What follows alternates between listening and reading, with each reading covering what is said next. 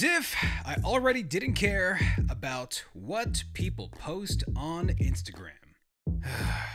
so, I don't really use Instagram like that anymore. I just share memes in my DMs. But once in a while, I'll see someone I know from high school flexing on one of their posts. Then later, they turn off the number of likes they got because they only got 20 in one hour.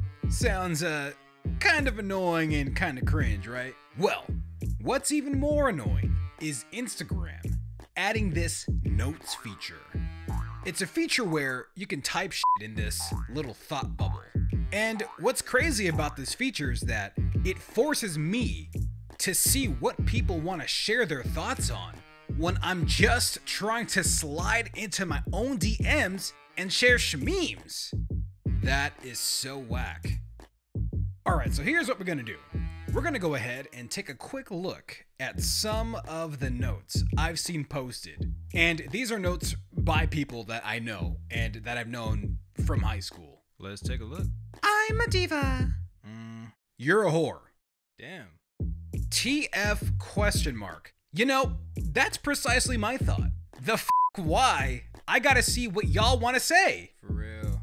Uh, okay. Day five of manifesting for penis. Can I say that word on YouTube? I'm literally, I'm literally not making these up. Stay till the end to see the screenshots. All right. First of all, no one cares that you're gay. Two, no one cares that you're gay. And three, no one cares that you're gay. Seriously? Why are you posting this crap? So, if you're like me and you really don't like the notes feature and just seeing all the random stuff that people post on there, the only way to turn these off is if I tap and hold each note and choose to mute them individually. I can't believe I need to take extra steps to ignore these clowns. That is so whack. Now, my frustration lies with the types of people I'm certain we all know, okay? These are the usual types of people that are really spamming the notes feature. The wannabe hot girl fashion model, influencer that's always sucking in their stomach. Okay, slay, darling, slay, yes, yes, super fantastic. Ah. And puts pretty in pink in their captions. The poser, fitness influencers that go to the gym to do a few deadlifts mm-hmm. and then snap some pics.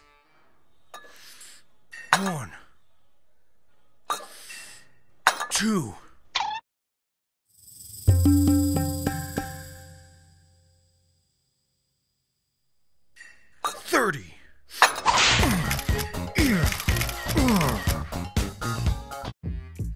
Usual attention seekers that take random shitty pictures just so they can put in their captions.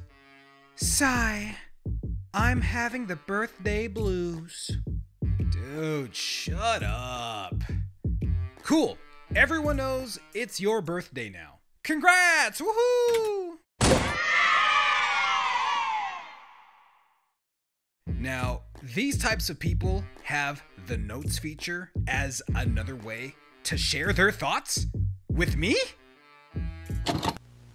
That is so whack. Now, you guys might ask, Brandyn, why don't you just get off Instagram?